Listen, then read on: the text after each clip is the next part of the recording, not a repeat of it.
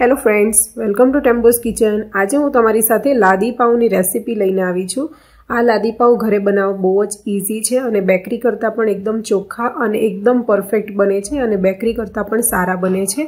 તો આ લાદી પાઉ બનાવવા માટે આપણે એકદમ પરફેક્ટ રીતે લોટ કઈ રીતે બાંધવો એ બધી ટિપ્સ અને ટ્રિક્સ મેં બતાવેલી છે. તો વિડીયોને તમે અંત સુધી જોજો અને આ રેસીપીને જરૂરથી ટ્રાય કરજો. તો ચાલો જોઈ લઈએ કેવી રીતે બનાવીશું પરફેક્ટ બેકરી સ્ટાઇલ લાદી પાઉં.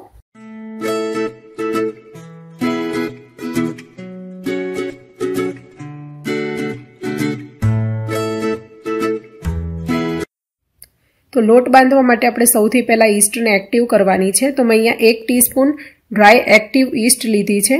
ઈસ્ટ તમે કઈ બ્રાન્ડની લો છો અને કઈ પ્રકારની લો છો એ બહુ જ જરૂરી છે. જો બહુ જૂની ઈસ્ટ હશે અને એક્સપાયરી ડેટવાળી ઈસ્ટ તમે યુઝ કરશો, તો લોટ બિલકુલ પણ સારો નહીં બને અને આપણા પાઉં પણ બરાબર નહીં થાય. તો ઈસ્ટ તમારે એકદમ સરસ જ લેવાની છે અને સારા બ્રાન્ડની યુઝ કરવાની છે. હવે આપણે એમાં બે ટેબલ સ્પૂન ખાંડ ઉમેરીશું. અને અડધો કપ આપણે હુંફાળું પાણી આમાં ઉમેરવાનું છે. પાણી બહુ ગરમ કે ઠંડુ નથી લેવાનું, થોડું હુંફાળું હોય એવું જ લેવાનું છે. હવે આ બધું બરાબર મિક્સ કરી લઈશું અને આ ઈસ્ટને આપણે દસથી પંદર મિનિટ માટે સાઈડમાં મૂકી દઈશું, જેથી એકદમ સરસ રીતે એક્ટિવ થઈ જાય. હવે મેં અહીંયા એક વાસણમાં છસો ગ્રામ મેંદો લીધો છે અને કપથી માપો તો ચાર કપ જેટલો મેં અહીંયા મેંદો લીધો છે.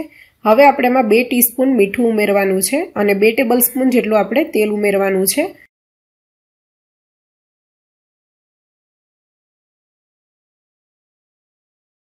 તો તમે જોઈ શકો છો આપણી ઈસ્ટ એકદમ સરસ રીતે એક્ટિવ થઈ ગઈ છે. જો તમારી ઈસ્ટ સારી નહીં હોય, તો આ રીતે ઉપરથી ફીણ જેવું નહીં થાય, તો તમારે આગળની પ્રોસેસ નહીં કરવાની.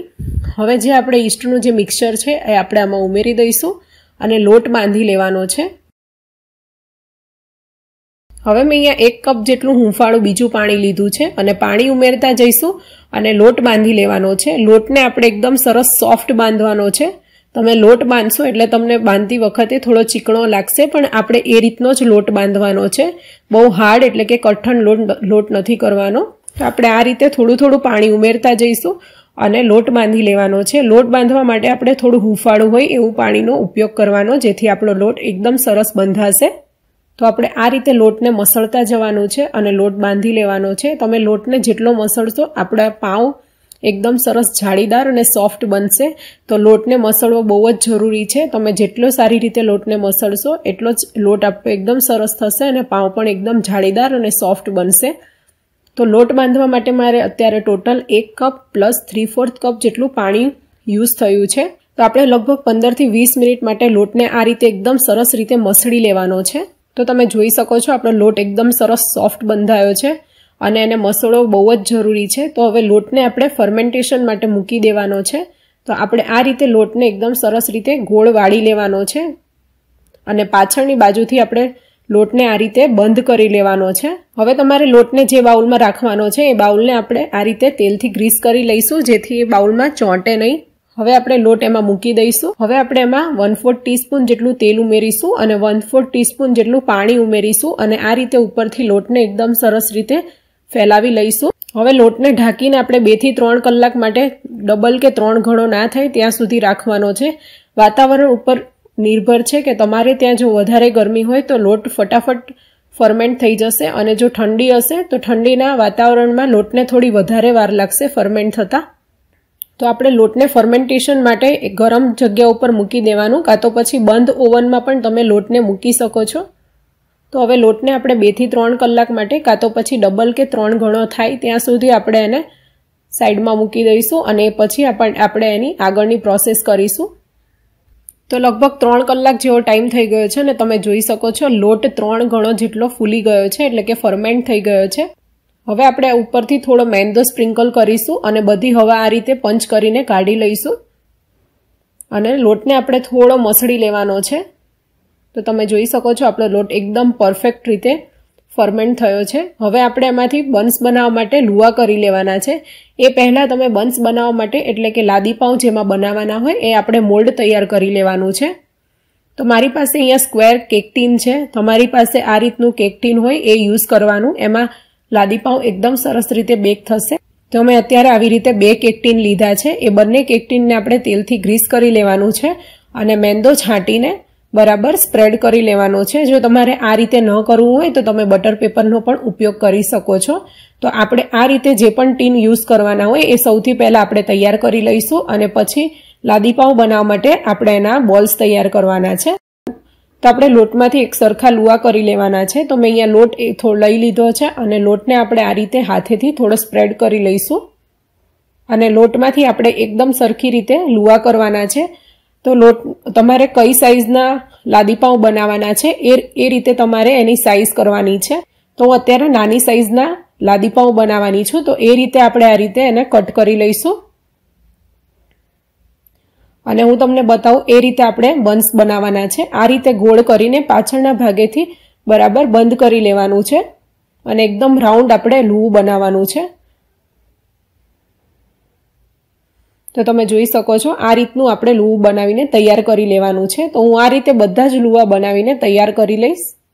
તો મેં અહીંયા લાદીપાઉં બનાવવા માટે બધા લુવા તૈયાર કરી લીધા છે અને આપણે આ રીતે કેક ટીનમાં એને મૂકી દેવાના છે.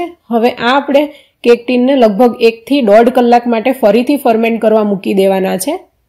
અને થોડી ગરમ જગ્યા હોય એ રીતે તમારે મૂકવાના છે. તો તમે જોઈ શકો છો, લગભગ દોઢ કલાક જેવો ટાઈમ થયો છે અને એકદમ સરસ ફરમેન્ટ થઈ ગયા છે અને ડબલ સાઇઝમાં થઈ ગયા છે. હવે લાદીપાઉને આપણે ઉપરથી આવી રીતે એકદમ હળવા હાથે થોડું દૂધ સ્પ્રેડ કરીશું, જેથી લાદીપાઉનો કલર એકદમ સરસ આવશે.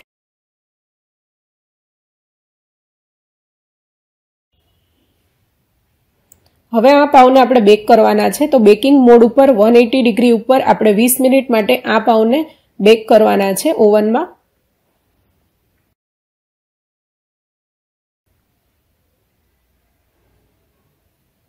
તો લગભગ વીસ મિનિટ જેવો ટાઈમ થઈ ગયો છે, તો આપણે એકવાર ચેક કરી લઈશું. તો તમે જોઈ શકો છો, આપણા લાદીપાઉ એકદમ સરસ રીતે બેક થઈ ગયા છે અને ઉપરથી એકદમ લાઇટ બ્રાઉન કલર આવી ગયો છે. તો હવે આપણે એને બહાર કાઢી લઈશું. પાઉં ગરમ હોય ત્યારે જ આપણે તેલ કાં તો બટરથી ઉપર ગ્રીસ કરી લઈશું, જેથી આપણા પાઉં એકદમ સરસ સોફ્ટ થઈ જશે. જ્યારે પણ તમે પાઉંને ઓવનમાંથી બહાર કાઢશો, એટલે ઉપરનું પડ થોડું કડક લાગશે, પરંતુ એ થોડી જ વારમાં સોફ્ટ થઈ જશે. તો મેં અત્યારે બટરનો ઉપયોગ કર્યો છે. બટરની જગ્યાએ તેલનો પણ તમે ઉપયોગ કરી શકો છો. હવે પાઉં જ્યારે થોડા ઠંડા થાય એટલે કે એના કેક ટીનને તમે અડી શકો, ત્યારે જ આપણે પાઉંને બહાર કાઢી લેવાના છે. જેથી એકદમ સરસ ઠંડા થઈ જાય અને નીચેથી પણ એકદમ સરસ ઠંડા થઈ જાય. તો આપણે આ રીતે વાયર રેક ઉપર કાં તો પછી કાણાવાળી કોઈ પણ પ્લેટ હોય, એના ઉપર તમારે આ પાઉને કાઢી લેવાના છે. અને ગરમ ગરમ પાઉને તમે પાઉંભાજી સાથે વડાપાઉં બનાવવામાં, દાબેલીમાં કે કોઈ પણ વસ્તુમાં તમે આ પાઉંનો ઉપયોગ કરી શકો છો. તો તમે જોઈ શકો છો એકદમ જાળીદાર આપણા પાઉં બન્યા છે. જેવા બેકરીમાંથી લાવો છો, એના કરતાં પણ સારા, સોફ્ટ અને એકદમ ચોખ્ખા બને છે. તો આ લાદી પાઉંની રેસીપી તમે ઘરે જરૂરથી ટ્રાય કરજો. તમે જોઈ શકો છો એકદમ જાળીદાર પાઉં બન્યા છે અને એકદમ સોફ્ટ, એકદમ રૂ જેવા અને પોચા આ લાદી પાઉં ઘરે તમે જરૂરથી ટ્રાય કરજો. આ રેસીપી એકદમ ઇઝી છે. આ તમે ટિપ્સ અને ટ્રિક્સથી લોટ બાંધશો તો તમારા લાદીપાઉં પણ એકદમ પરફેક્ટ બનશે. તો આ લાદીપાઉંની રેસીપી તમે ઘરે જરૂરથી ટ્રાય કરજો અને રેસીપી કેવી લાગી એ કમેન્ટ કરીને જરૂરથી જણાવજો. જો રેસીપી સારી લાગી હોય તો પ્લીઝ લાઇક અને શેર જરૂરથી કરજો. અને મારી ચેનલને સબસ્ક્રાઇબ કરી દેજો અને બાજુમાં આપેલા બે લાઇકન પર ક્લિક કરી દેજો, જેથી તમને મારી દરેક રેસીપી વિશેની નોટિફિકેશન સૌથી પહેલાં મળે. તો ફરીથી મળીશું એક નવી રેસીપી સાથે. ત્યાં સુધી આવજો. Thank you for watching my video